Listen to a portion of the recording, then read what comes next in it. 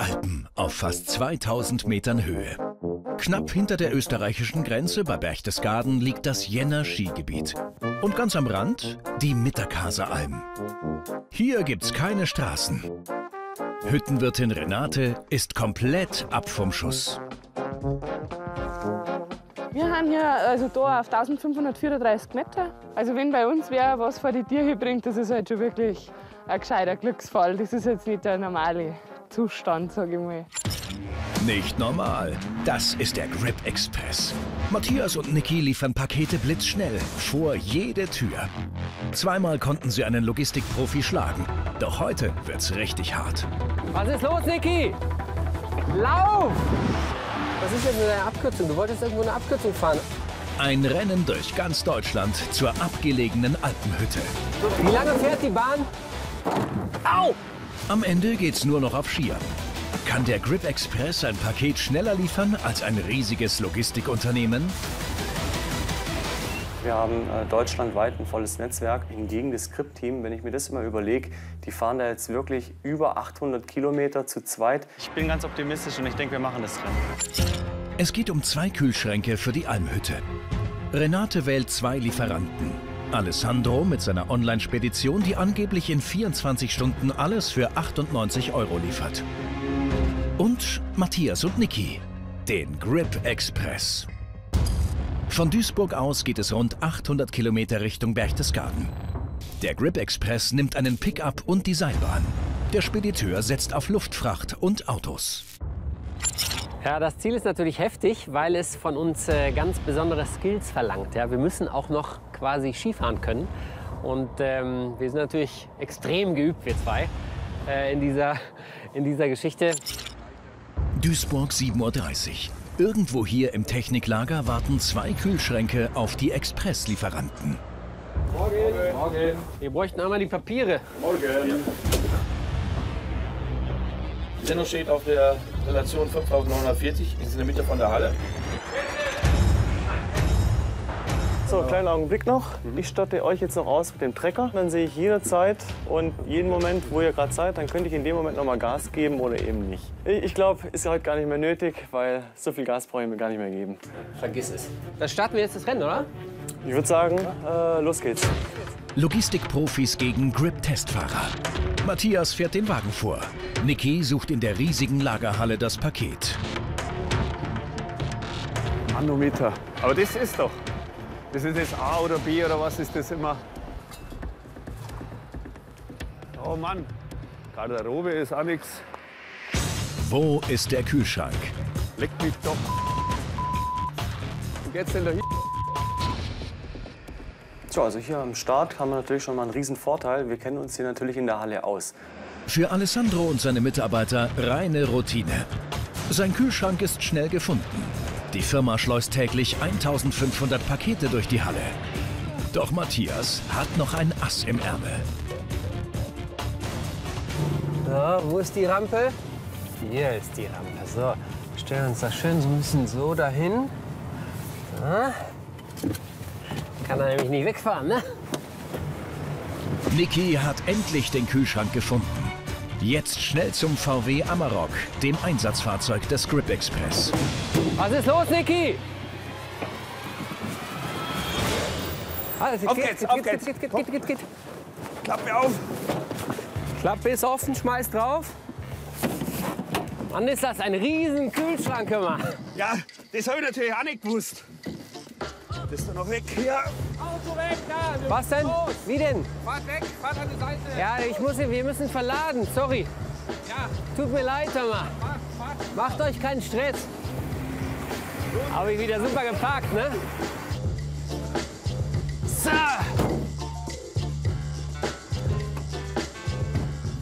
So, das ist übrigens unser Kameramann.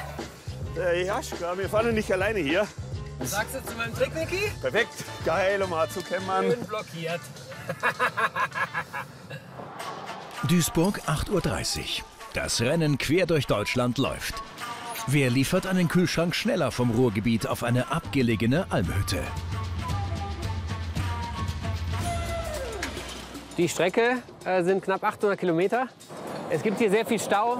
Es gibt sehr viel beschränkte Autobahnen, also wo du 100, 120 fahren kannst. Und die Probleme beginnen direkt auf der Autobahn. Die Route wurde aufgrund von vier Kilometern stockendem Verkehr auf der A3 neu berechnet. 100 Meter dem Straßenverlauf folgen. Fünf Kilometer in sieben Minuten. Aber auch der Spediteur kommt nur langsam voran. Sein erstes Ziel, der Flughafen Düsseldorf. Alessandro verfolgt die Pakete per GPS-Tracker auf den Meter genau. Ich sehe jetzt gerade, die Jungs sind, äh, stehen gerade aktuell im Stau. Wir sind allerdings schon davon ausgegangen. Also wir, wir rechnen eigentlich fast schon täglich damit. Dementsprechend haben wir den Flieger auch gebucht. Das Paket schafft es auf den geplanten Flug von Düsseldorf nach München. Die Flugzeit für die 600 Kilometer liegt bei einer Stunde. Mit Einchecken und Wartezeit dauert der Transport also rund drei Stunden. Können Matthias und Niki genauso schnell sein? Autos, soweit das Auge reicht, Niki. Ja. Viel zu viele Autos. Guck dir das mal an! Ja, ich sehe es doch. Es ist 9 Uhr, ihr müsst doch längst bei der Arbeit sein, Leute. Dabei könnte der VW Amarok mit V6-Motor doch viel schneller sein. 193 km/h läuft der Pickup spitze. Außerdem kann er mit Allrad durchs Gelände fahren, falls Niki und Matthias abkürzen wollen. Basispreis für den 224 PS Diesel rund 50.000 Euro. Du musst doch echt sagen, das Ding macht doch einfach was her. Ich denke, also, wenn man von hinten anrollt, dann rutschen die schon ein bisschen auf die Seite. Wenn jetzt nicht davon irgendwie ähm, ja, ein Porsche oder was fährt, dann, geht Also, das. man muss schon sagen, das Ding schiebt ordentlich an. 550 Newtonmeter, da wirst, du wirst wirklich in den Sitz gepresst. Aber auf der Autobahn brauchst du V-Max. Und das hat er nicht.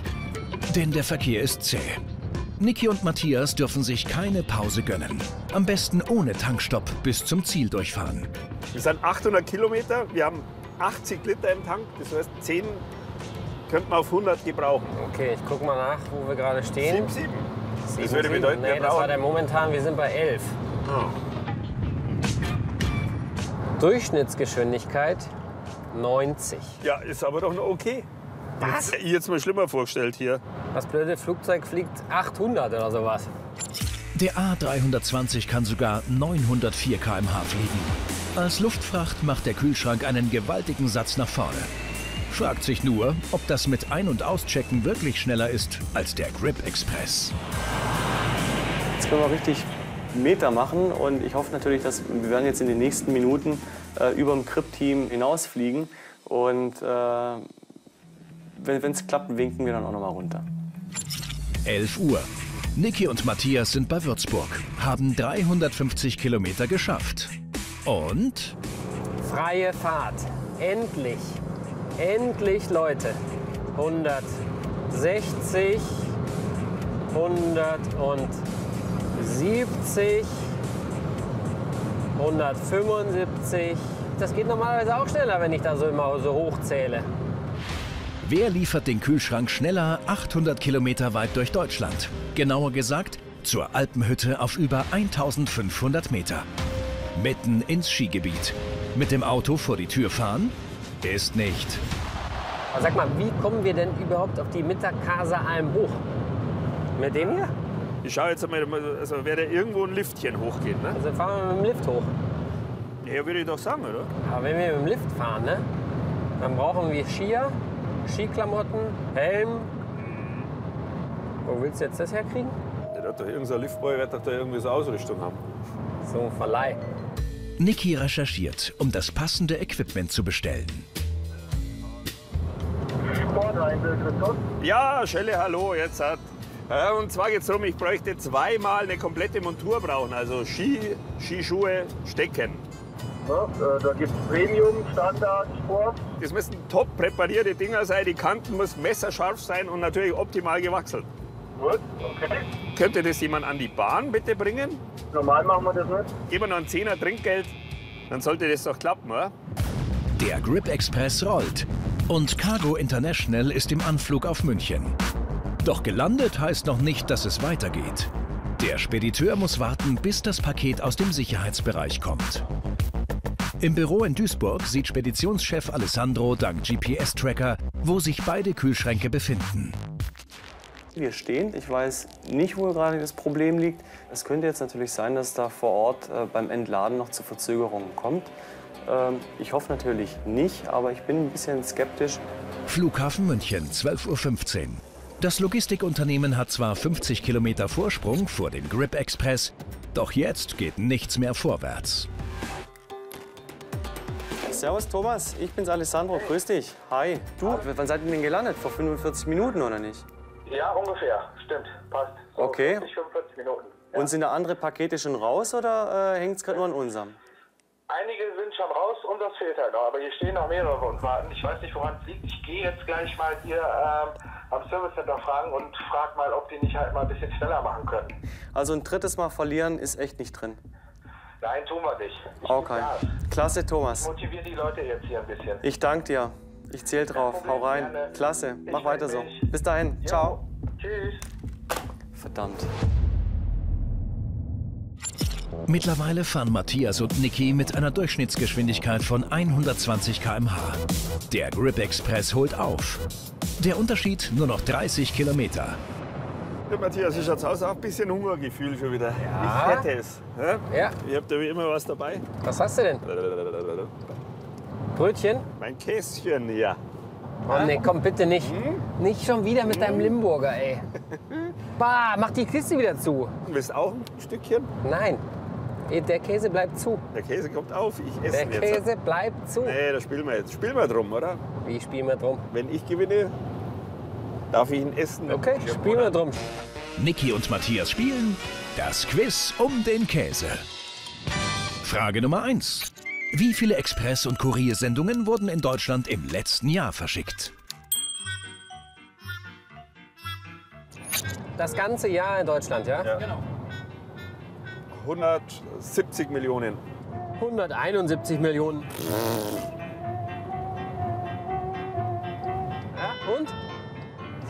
Voll daneben. Ja, das weiß ich, aber ich bin näher dran. Es sind über, über äh, Milliarden sind das wahrscheinlich. Das sind drei Milliarden. Siehst du? 1-0 für ihn. 1-0. Wie unangenehm. Frage Nummer 2. Wie viel kostet ein Paket bis 2 Kilo von Deutschland nach Amerika? 19,90 Euro. Äh, 18,20 Euro. ja. Das sind 16 Euro.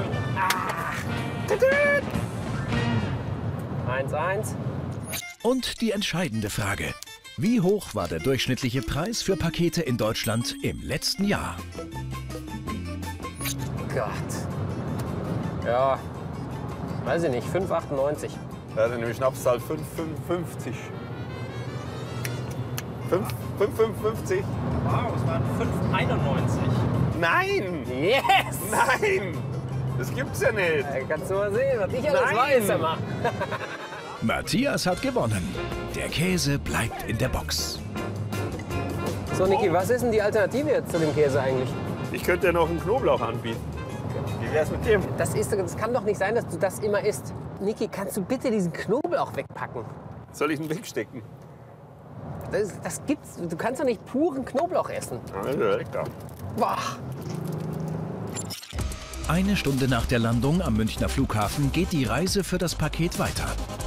Um nicht zu viel Zeit zu verlieren, setzt Logistikprofi Alessandro auf einen schnellen 5er BMW. Der Zwischenstand? Vor München hat der Kurierfahrer einen hauchdünnen Vorsprung vor dem Grip Express. Wir haben jetzt aktuell zwar immer noch einen äh, kleinen Vorsprung, allerdings kommt das Team Kripp immer und immer wieder näher, äh, was definitiv beweist, dass die mal wieder wahnsinnig schnell unterwegs sind. Das könnte ein Fotofinish werden. Doch jetzt geht Team Grip der Sprit aus. Leute, der Boxenstopp muss jetzt Formel 1 mäßig werden. Mit Räderwechsel Ist vorne. das klar? Nein, Räder brauchen wir nicht zu wechseln. 13.30 Uhr. Tankstopp. So. Performance Diesel, Diesel, Diesel. Ist das schon Diesel, oder? Diesel, Diesel, Diesel, Diesel. Ich habe Performance Diesel habe ich genommen. Nummer 5. Lauf! 60 Liter, das muss reichen. Mache ich dem Niki schon mal den Motor an. So. Boxenstopp in Rekordzeit. Doch wo bleibt Niki? Ja, was macht der denn da drin? Bezahlt hat er noch nicht. Wie kann das denn sein?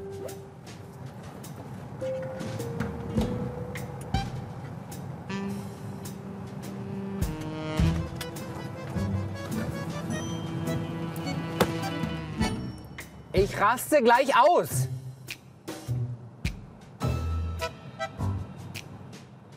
Da kommt er.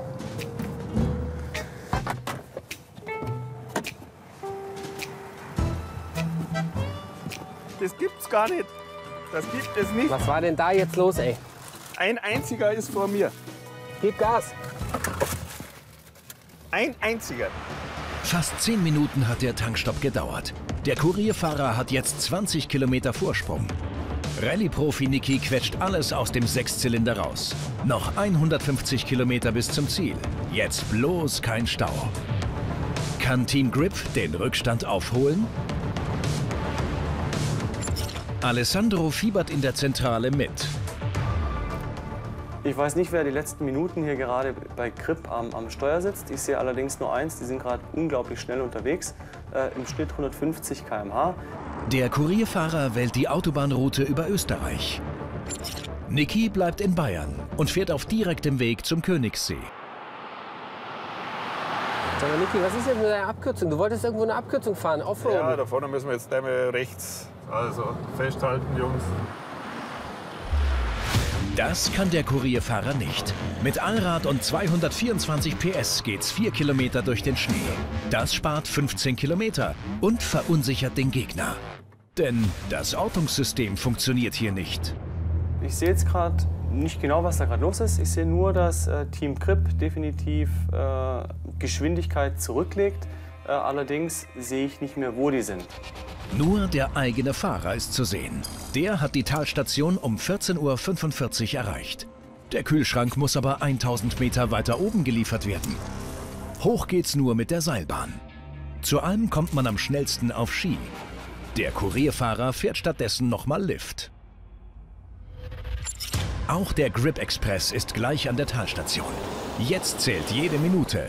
Niki hat ein ganz anderes Problem.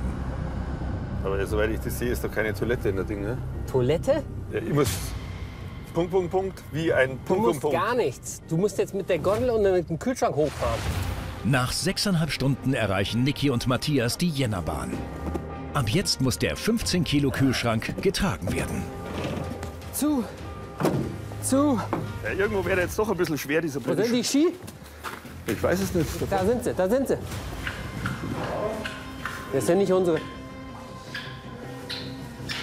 Drin vielleicht. Da, da, da, da, da, da, da. Hallo. Wir haben ein Paket für oben. Da vorne sind die Ski.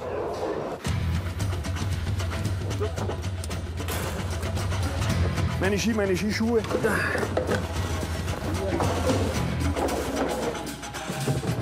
Ich sitze drin, also ich werde umgezogen, los geht's. So Leute, jetzt heißt umziehen. Erstmal nackig machen. Wie lange fährt die Bahn? Au! Die erste Etappe führt mit der Jännerbahn nach oben. Team Grip bleibt 15 Minuten zum Umziehen. Dann geht es auf Skiern zum Ziel. Und während Matthias die Mittelstation passiert, kommt der Kurierfahrer 600 Meter weiter oben an. Er hat keine Ski und muss mit dem langsameren Sessellift fahren.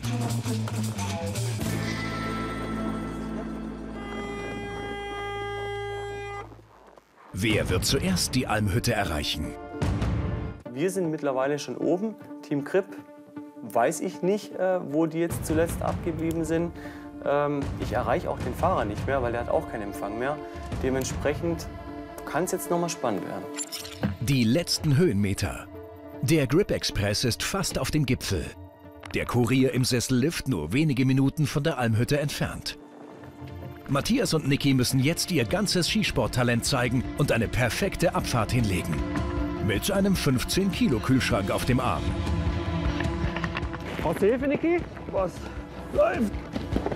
Die Mitterkaser Alm ist auf Brettern nur drei Minuten von der Seilbahn entfernt. Wer ist nach der 800 Kilometer langen Reise zuerst am Ziel? Hallo. zum Zustellen für Malmus? Ja, genau. Okay. Dankeschön. okay. Die Logistikprofis liefern den Kühlschrank in 7 Stunden und 30 Minuten von Duisburg auf die Almhütte. Niki und Matthias kommen zu spät. Auf. Ja. Ich bin jetzt natürlich unglaublich erleichtert, äh, muss man natürlich sagen. Na, nach, nach drei Versuchen jetzt endlich mal zu gewinnen, äh, ist es natürlich, äh, da ist jetzt der ganze Dampf jetzt einmal raus. Los, los, los, los, los. Servus, hallo. Da ist Kühlschrank bestellt. Ja, Und? War der andere schon da? der war schon da. Ich flipp aus. Ja. Kann nichts machen. Alles umsonst. Wir haben uns die Seele aus dem Leib gefahren. Tut mir leid. Ich raste aus. Ah, Mann. Ich flipp aus. Geliefert haben wir und wir haben auch pünktlich geliefert. Waren halt zehn Minuten später. Jupp. Auf geht's. 800 Kilometer Volldampf ohne Happy End. Dieses Mal hat der Grip Express verloren. Das gibt eine Revanche. Versprochen.